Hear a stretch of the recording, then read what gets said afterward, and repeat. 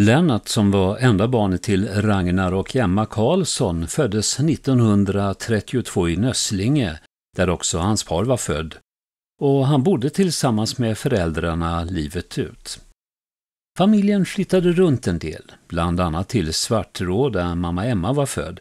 Sedan blev adressen Gällared innan familjen 1966 byggde en villa på Tröingeberg. Fadern Ragnar hade varit i Amerika och jobbat och fått med sig en slant hem till Sverige. Lennart arbetade på kraftstationen Skåpanäs när den byggdes. Han arbetade senare på sågen i Gällared och senare jobbade både Lennart och fadern på Monark. När Lennart dog 1992 var han anställd på Samhall Lumatic AB. När Lennart var ung på 1950-talet var han en av få ungdomar som hade egen bil. Varje lördag var det därför Lennart som körde när han och kompisarna skulle till dans.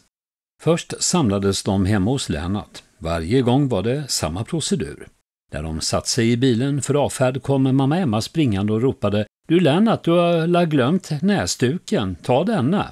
Det var en näsduk ihopknuten som ett knyte med pengar i. Han fick cirka 100 kronor, vilket var mycket på den tiden. Han slösade inte och hade ofta pengar med sig hem. Kompisarna var nog lite avundsjuka.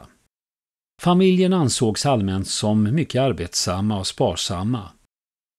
När modern Emma dog 1978 ordnade familjen gravplatsen på Vinbergs kyrkogård.